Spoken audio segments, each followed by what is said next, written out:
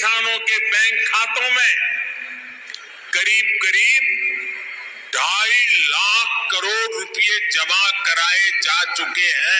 प्रधानमंत्री नरेंद्र मोदी जी से अनुरोध है कि अब छोटे से छोटे किसानों के बैंक अकाउंट में चौदहवीं किस्त का पैसा ट्रांसफ़र करें।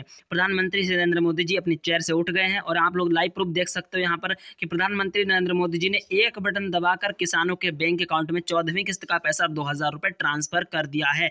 अगर ये किस्त आपके बैंक अकाउंट में नहीं गई है तो आपके बैंक अकाउंट में देखना कि मैसेज आ गया होगा आपके मोबाइल पर कि आपके खाते पर चौदहवीं किस्त का पैसा दो ट्रांसफ़र हो चुका है।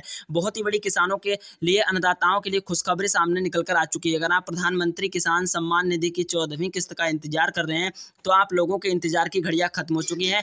आज किसानों के बैंक अकाउंट में चौदहवीं किस्त दो हज़ार ट्रांसफ़र प्रधानमंत्री नरेंद्र मोदी जी ने कर दी है। अगर आपके बैंक अकाउंट में आज नहीं आती है तो आप लोग टेंशन ना ले। अगर आपने के और भूले का सत्यापन कंप्लीट करा कर रखा है तो आपके बैंक अकाउंट में चौदहवीं किस्त का पैसा दो ट्रांसफ़र एक या दो दिन में हो जाएगा। अगर आपने ई के नहीं करवाई तो जल्द से जल्द करवा लें, ताकि आपके बैंक अकाउंट में सीधे सीधे ट्रांसफ़र कर दी जाए दो की चौदहवीं किस्त। बहुत ही बड़ी किसानों के लिए खुशखबरी सामने निकल कर आ चुकी है। चैनल पर अगर आप नए हो तो चैनल को सब्सक्राइब करके वीडियो को लाइक, शेयर ज़रूर कर दीजिएगा। मिलते हैं अगले वीडियो में, तब तक के लिए जय हिंद, वंदे मातरम।